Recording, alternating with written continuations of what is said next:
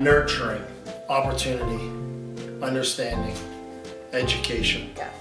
love.